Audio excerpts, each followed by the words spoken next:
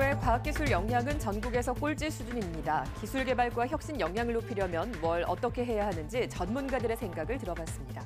실내 마스크를 벗자는 지자체가 나오고 있는데 대구와 경북은 아직 조심스럽습니다. 지역별로 방역이 다르면 곤란하다는 판단입니다. 지난 8월 강원도 공군부대에서 발생한 20대 중사 총상 사망 사건, 구미의 유족은 의혹을 제기하고 있습니다. 한일 바닷길이 3년 만에 열렸습니다. 양국이 백길 활성화를 위한 지원책도 준비 중입니다. 여러분 안녕하십니까? 12월 7일 수요일 아침 대구 MBC 뉴스투데이입니다.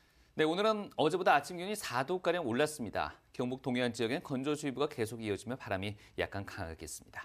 유하경 기상캐스터입니다. 오늘은 1년 중 눈이 가장 많이 내린다는 절기 대설입니다. 우리 지역에 큰 눈 소식은 없겠는데요. 기압골의 영향으로 오전까지 경기 북부 내륙에는 1cm의 눈이나 1mm 내외의 비가 오는 곳이 있겠습니다. 또 대구와 경북 남부 내륙, 울릉도와 독도에도 빗방울이나 눈이 날리는 곳이 있겠습니다. 오늘 아침 대구의 기온은 0도, 안동은 영하 1도로 어제보다는 4도가량 높게 시작하고 있는데요. 낮에는 6도에서 11도 안팎 머물며 평년 기온을 웃돌겠습니다. 지역별 특보 현황 살펴보겠습니다. 대구와 경북 내륙에 발효됐던 건조주의보는 모두 해제가 됐지만요. 경북 북동 산지를 포함해 경북 동해안 지역에 발효 중인 건조주의보는 일주일 넘게 이어지고 있습니다. 거기다 순간풍속 시속 55km 내외로 바람도 약간 강하게 불 것으로 보여서요. 화재 예방에 오늘도 각별히 주의하시기 바랍니다. 모레까지 기온은 평년과 비슷하거나 조금 높겠고요. 아침 저녁으로 쌀쌀함이 이어져 체감 기온은 2도에서 3도가량 더 낮게 느껴지겠습니다. 날씨였습니다. 한밤중 대구 성서공단에서 큰 불이 나 당국의 긴급 진화에 나섰습니다.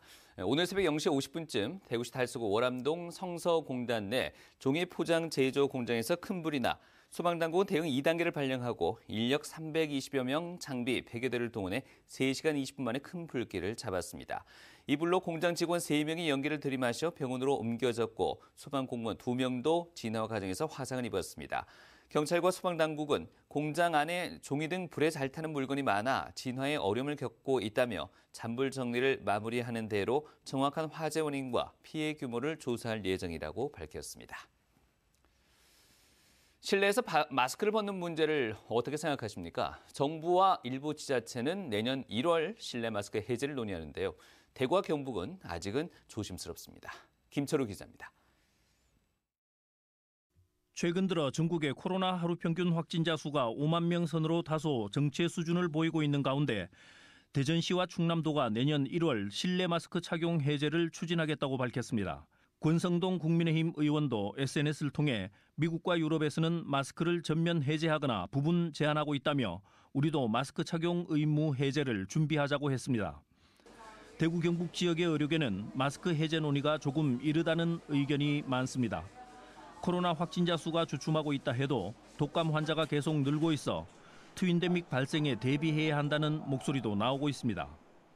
독감 같은 경우는 체감상 그 한 달 전에는 주간에 한, 한 일주일에 한 3, 4명 신규 나왔다면 요즘에는 거의 매일 하루에 최소 3명에서 많게는 7명, 10명까지 확진자 나오고 있는 추세입니다. 독감과 코로나가 동시에 걸리는 사례도 나오고 있고 코로나 위중증 환자와 사망자 수 역시 안심할 상황이 아닙니다. 최근 2주 전 10명에서 20명 정도였던 대구 경북의 위중증 환자 수는 최근 2주 사이 30명대로 늘었고 사망자 수도 줄지 않고 있습니다. 정점이 언제 도착할지 모르지만 유행이 없어진 상황이 아니다라는 점이 첫 번째 마스크를 써야 되는 이유고요. 두 번째는 우리 사회에서 약자들이 있어요. 그러니까 노인 그리고 어, 항암 치료를 받은 사람, 이식 환자 이런 분들은 아직도 응급실에 중증 폐렴으로 오거든요. 마스크를 써서 나를 감염 안 시키는 것이 그분들에게 전달하는 방법이고요.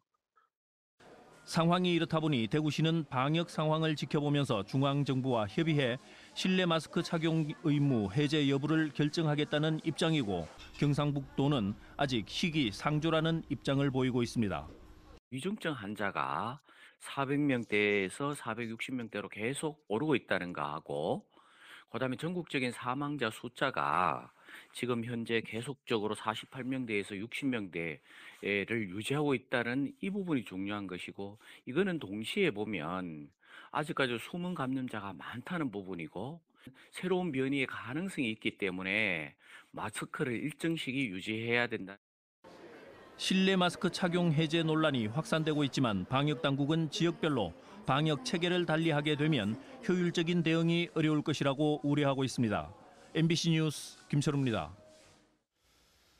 한국과학기술평가원이 매년 발표하는 지역 과학기술 혁신 역량 평가를 보면 대구는 전국 17개 시도 가운데 15번째로 최하위에 머물러 있습니다. 연구 개발 투자는 물론 기술 혁신을 위한 인적 자원도 전국 평균에 한참 못 미치는 것으로 분석됐는데요.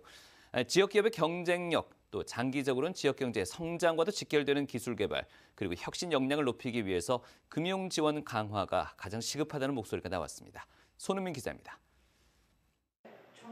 대구 경북 기업 419곳에 물었더니 80% 이상이 현재 자금 조달에 어려움을 느끼고 있다고 답했습니다. 내부 자금을 비롯해 정부 지원과 은행 대출, 주식, 채권 발행 모두 마찬가지입니다. 자금이 부족하니 원자재 구입이나 인건비 지급 등 기업 유지의 필수적인 부분을 메꾸기에 급급해지고 기술 개발이나 투자를 줄일 수밖에 없습니다. 결국 기업의 미래를 위해 필요한 혁신의 성과가 떨어지게 되고 기업들의 경쟁력도 약해지는 악순환이 되풀이됩니다. 기업의 자본 조달 제약이 혁신 투자 등에 미치는 영향을 분석한 연구진은 대구 경북 기업들이 자금 조달의 85%를 은행에 의존하는 만큼 혁신 기업을 대상으로 금융 지원을 강화해야 한다고 했습니다. 금융이 기업 혁신과 함께 같이 동반 성장할 수 있게 기업에도 인센티브를 제공해주고 또한 기업 그 돈들이 또 자본들이 혁신 기업에 잘 흘러갈 수 있도록 정책적으로 중요하게 담당하는 것이 정말 중요합니다. 금융 지원 등을 통해 성장과 혁신이 유망한 기업을 지역의 선도 기업으로 키우고 지역 산업 경쟁력도 높일 수 있다는 겁니다. 부족한 연구 인력도 문제로 꼽혔습니다. 실제 대구 경북의 연구 개발 인력은 2020년 기준 4만 6천여 명, 연구 개발 조직은 4,200여 개로 전국의 6에서 7% 수준에 불과합니다. 연구 전담 인력 확보가 필요하지만 지역 기업 자체의 역량으로는 한계가 있는 만큼 대구시 차원의 정책적 지원이 뒷받침돼야 한다는 주문이 나왔습니다. MBC 뉴스 손은민입니다. 지난 8월 강원도의 한 공군 부대에서 20대 부사관이 총상을 입고 숨졌습니다. 극단적 선택에 무게를 두고 군의 조사가 이루어지고 있는데 유족들은 개인 문제가 아닌 부대 문제가 영향을 끼쳤을 것이라고 주장하고 있습니다. 김은혜 기자가 보도합니다. 지난 8월 9일 공군 방공관제사령부 소속 20대 중사가 부대 인근에 주차된 차 안에서 총에 맞아 숨진 채 발견됐습니다. 새 부대로 옮긴 지 열흘 만의 일입니다. 부대 측은 중사가 휴대한 총기를 사용해 스스로 목숨을 끊었다고 유족들에게 전했지만 유족들은 의혹을 제기했습니다. 애가 이렇게 죽음에 이르기까지 몰아붙인 이유 어? 그런 것만 지금 명확하게 밝혀졌으면 뭐더 없겠다. 사망 당시 중사의 몸 일부에 심한 멍자국이 발견됐습니다. 또 숨진 중사의 휴대전화에는 전임자는 하지 않았던 24시간 당직 근무에 자신이 포함되자 대대장에게 의견을 냈지만 아무런 답변도 받지 못했다는 SNS 대화도 확인됐습니다. 업무와 부대에 대해 싹 다 갈아야 한다, 검열 안 걸린 게 신기하다, 편 나누기가 심하다는 말을 지인에게 하기도 했습니다. 한편 해당 부대에선 일부 총기가 총기함 외부에 그냥 걸려 있는가 하면 잠금 장치를 두 번 풀고 봉인표를 뜯어야 반출할 수 있는 총과 탄약이 언제 어떻게 반출됐는지 자료도 없는 등 총기 관리가 부실했던 정황도 나왔습니다. 유족들은 국가인권위원회 군인권보호관에 진정을 접수했습니다.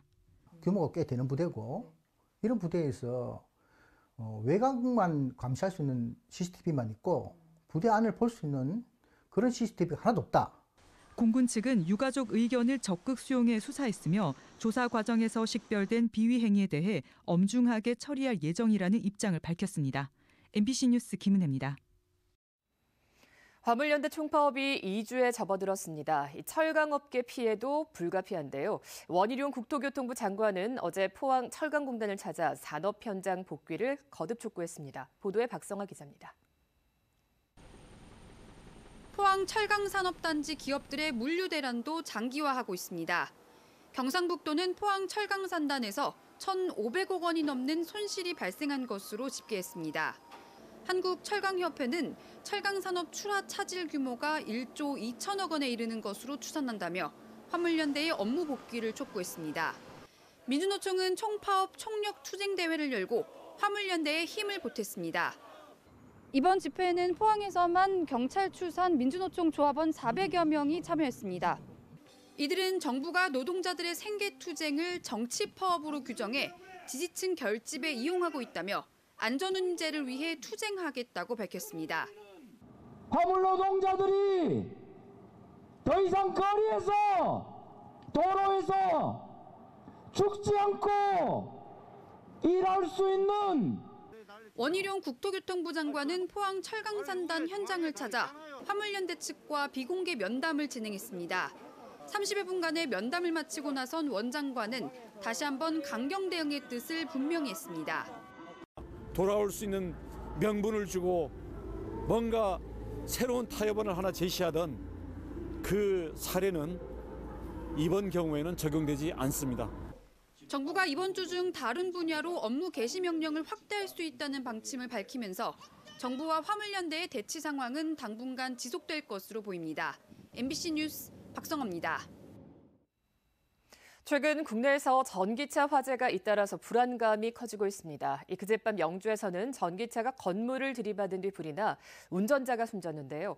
전기차 대수는 급격하게 늘고 있는 반면 전기차 화재를 진압할 장비는 턱없이 부족합니다. 김경철 기자입니다. 영주시 함항동의 한 상가거리.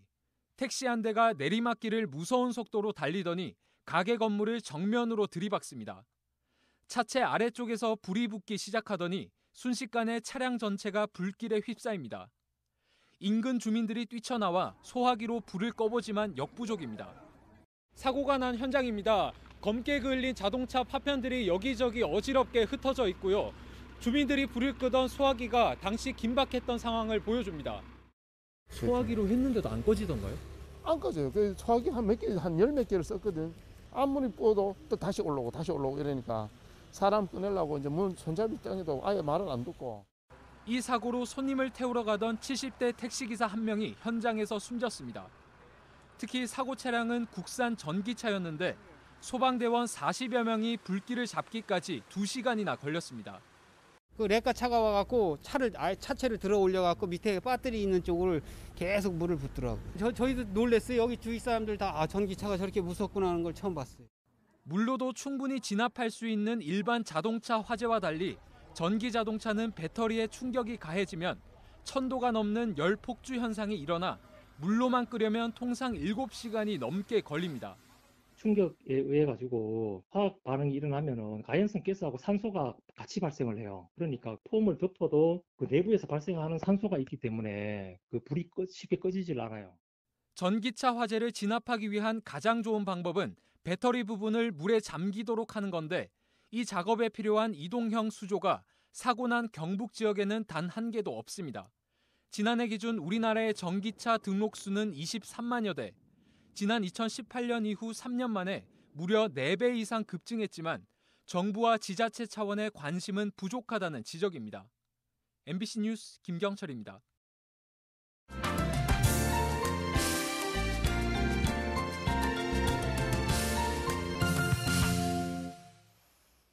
코로나19로 중단됐던 한일 간의 국제 여객선 운항이 약 3년 만에 재개됐습니다. 나머지 항로도 순차적으로 열릴 예정인데 양국이 백길 활성화를 위한 다양한 지원책을 마련하고 있습니다. 부산 MBC 김윤아 기자가 재개된 여객선을 타고 직접 일본 오사카 항을 다녀왔습니다. 3년 만에 빗장을 푼 일본 오사카 항. 대합실에 탑승 대기줄이 길게 늘어서고 여행객들의 얼굴엔 저마다 설렘이 가득합니다.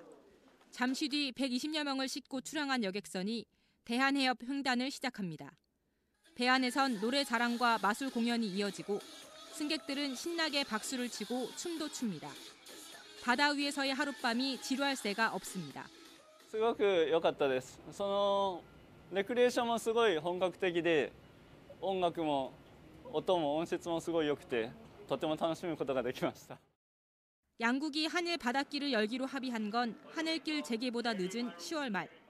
코로나19 기간에도 일부 운항됐던 항공기와는 달리 여객선은 운항 재개를 기약할 수 없었고 무엇보다 검역 문제가 가장 큰 관건이었습니다. 선사는 입국 전 접종 완료 증명서를 등록하는 앱 시스템을 마련하고 코로나 환자 발생 등에 대한 대응 방안을 수립해 한 달간 시범 운항을 거쳤습니다. 또 정원의 5분의 1 수준인 100명 내외만 탑승하고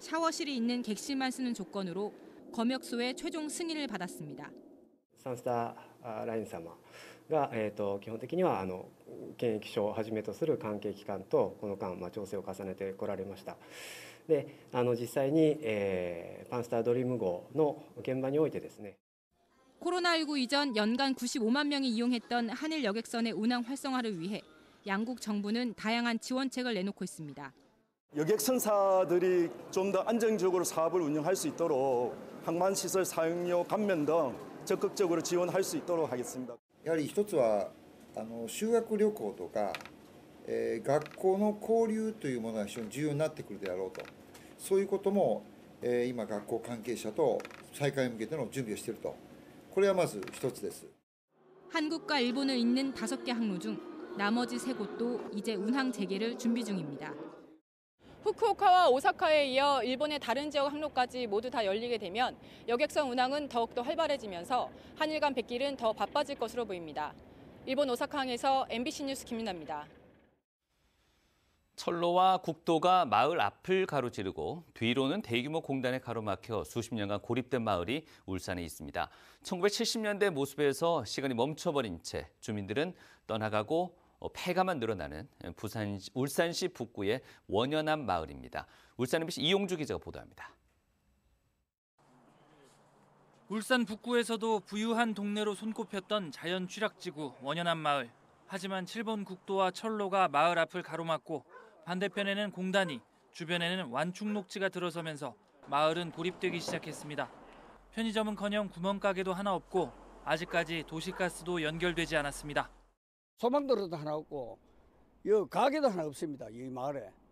울산 광역시 이런 마을에서 세금은 똑같이 내고 하나 혜택 보는 게 없습니다. 많을 때는 50여 가구가 살던 활기찬 마을이었다지만 지금 남아있는 집은 20가구 정도. 한 집 걸러 한 집은 거주민들이 세상을 떠난 뒤 아무도 관리하지 않는 폐가입니다. 주민들은 죽어가는 마을에서 더 이상은 못 살겠다며 주거 환경 개선과 이주 대책을 요구하고 있습니다. 사람들이 점점 없다 보니까 사람들이 자꾸 외롭고 우울증도 오고 살기도 그 너무 그 힘들고 하니까 많이 좀 힘- 많이 힘드는 거지. 하지만 집단 이주는 완충녹지 지정, 나아가 도시계획과 관련되어 있는 만큼 정책적, 정치적 판단 없이는 결정하기 어려운 사안입니다. 완충 녹지로 하기 위해서 이주비를 시에서 지불해야 되겠죠. 구조 개선을 통해서 이 지역을 어, 정주 여건을 개선한다. 또 주민들의 삶을 개선한다. 난 불가능하다고 보거든요.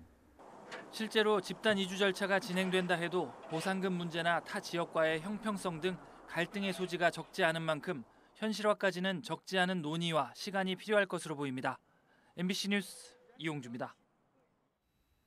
3년 만에 개최할 예정이던 제25회 호미곶 한민족 해맞이 축전 공식 행사가 코로나19 예방과 방문객 안전을 위해 취소됐습니다.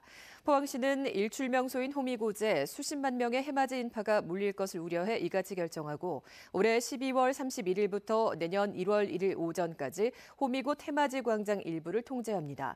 대신 유튜브 채널을 통해 포항 호미곶 광장과 스페이스워크, 이가리 닻전망대의 일출 장면을 3원으로 연결해 생중계할 계획입니다. 대구지법 제5형사 단독 정진우 부장판사는 여자친구를 폭행하고 감금한 혐의로 기소된 39살 김모 씨에게 징역 6개월에 집행유예 2년, 폭력치료 강의 40시간 수강을 명령했습니다. 김 씨는 지난해 3월 여자친구가 다른 사람을 만난다며 의심하면서 여러 차례 때리고 11월에도 여자친구와 말다툼을 벌이다 폭행하고 집을 나가지 못하도록 감금한 혐의로 재판에 넘겨졌습니다. 김 부장 판사는 폭력 범죄로 처벌받은 적이 있고 범행 내용이 가볍지 않지만 피해자와 합의한 점, 반성하는 점 등을 고려했다고 양형 이유를 밝혔습니다. 김 씨는 여자친구가 운전하는 차량을 가로막거나 여러 차례 전화와 문자를 보내 스토킹 범죄 처벌법 위반으로도 기소됐지만 피해자가 처벌을 원하지 않아 공소 기각됐습니다. 대구지방 고용노동청은 올해 말까지 50억 원 이상 건설 현장 430곳에 이 중대재해처벌법에 따른 안전보건관리 체계를 집중 지도하기로 했습니다. 대구와 경북에서는 중대재해처벌법 시행 이후 지금까지 50억 원 이상 건설 현장에서 6건의 사망사고가 발생했는데 대부분 안전난간이나 안전대 미비, 관리감독 부재 등이 원인으로 꼽히고 있습니다. 시공능력 평가 순위 200위 이내 8개 건설업체 대표와 안전체 체계 간담회를 하고 안전 점검에 따른 개선 조치를 완료해달라고 요청했습니다. 최근 대구 지역 외식업소에서 100가지의 밀키트 제품을 개발해서 출시했습니다. 대구시는 코로나19 유행으로 어려움을 겪는 외식업소를 대상으로 손질된 식재료와 양념을 제품으로 구성한 밀키트 제품 개발을 지원한 결과 100곳의 외식업소에서 100개의 밀키트를 출시했습니다. 육개장과 보거 매운탕, 찜갈비, 연잎밥, 떡갈비 등 다양한 메뉴가 개발됐으며 지난 10월부터 판매를 시작해 한 달 동안 4,600여 개가 팔려 7,700만 원의 매출을 올렸습니다. 영천시가 경부고속도로 금호 대창 하이패스 나들목 공사를 위한 편입 토지 보상을 이달 말부터 시작합니다. 금호 대창 하이패스 나들목은 영천시 금호읍 오계리와 대창면 병암리 경부고속도로 103km 지점에 만드는데 총 사업비는 281억 원입니다. 영천시는 토지 분할과 지적 공부 정리, 지작물 사전 조사, 토지와 지작물에 대한 감정 평가를 거쳐 올해 말부터 보상 협의에 나설 계획입니다.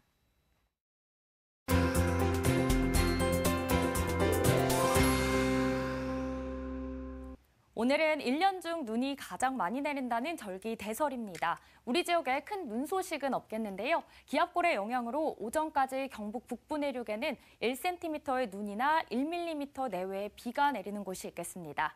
또 대구와 경북 남부 내륙, 울릉도와 독도에도 빗방울이나 눈이 날리는 곳이 있겠고요. 오늘 아침 대구의 기온은 0도, 안동은 영하 1도로 어제보다는 다 대부분 지역에서 4도가량 올랐습니다. 낮에는 6도에서 11도 안팎 머물면서 평년 기온을 웃돌겠습니다. 지역별 특보 현황 살펴보겠습니다. 대구와 경북 내륙에 발효됐던 건조주의보는 모두 해제가 됐지만요. 경북 북동산지를 포함해 경북 동해안 지역에는 일주일 넘게 건조주의보가 이어지고 있습니다.